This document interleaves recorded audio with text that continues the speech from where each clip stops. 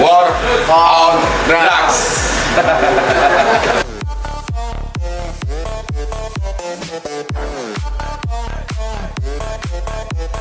Borobudur 2023 ah, yang sekarang mungkin lebih lebih ramai dibanding tahun-tahun sebelumnya.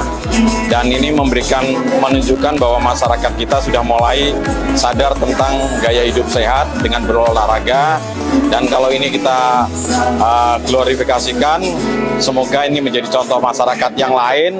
Dan ini menjadi uh, gaya hidup yang sehat sehingga dengan gaya hidup yang sehat insya Allah kita tidak akan terpapar dengan penyalahgunaan narkoba.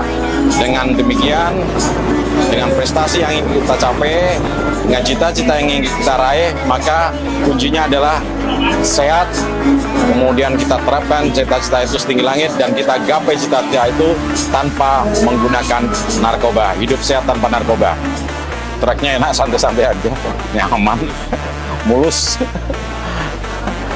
Yang penting tracknya itu ya nyaman gitulah ya. Bisa dinikmatin. Ciptakan Indonesia sehat dimulai dari desa yang sehat. Jargon tentang desa bersinar mewujudkan Indonesia bersinar.